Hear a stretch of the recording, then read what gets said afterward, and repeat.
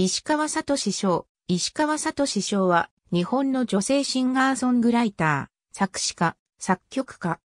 東京都出身。血液型は AB 型。旧芸名に、石川千秋、千秋、ソマリがある。音楽ユニット、シーソーのボーカルとしての活動をはじめ、ソロ活動や他のアーティストへの楽曲提供なども言っている。石川と梶浦由紀との音楽ユニット、シーソーでデビュー。1995年から2001年のシーソー、活動休止中は、ソマリ名義で、ソロ活動も行う。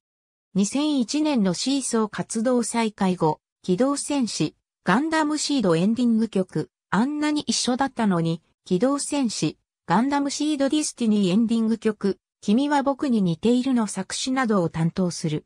2002年頃の芸名は、石川千秋で、シーソーでは、ボーカルと一部の曲の作詞を担当していた。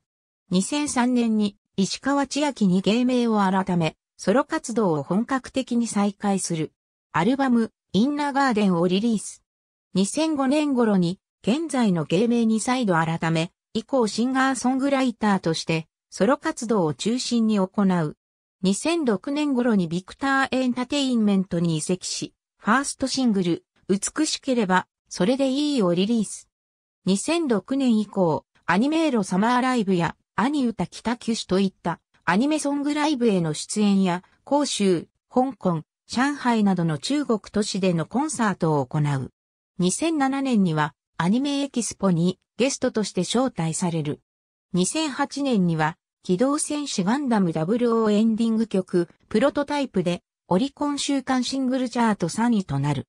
2011年のシングル不完全燃焼の PV は YouTube において2ヶ月で50万 PV を突破しアニメ部門シングル賞を受賞した。2013年以降、日本国内での石川聡賞個人ライブも本格的に行うようになる。2014年のミニアルバム、前夜からはレーベルを自身のレーベル、マテリアルワールドに切り替えた。2016年、2017年には、香港、上海、広州、北京でライブを開催した。2019年3月1日、アイインストールが平成アニソン大賞の作詞賞に選出された。オリジナルアルバムミニアルバム配信限定、終盤のシークエンス。ありがとうございます。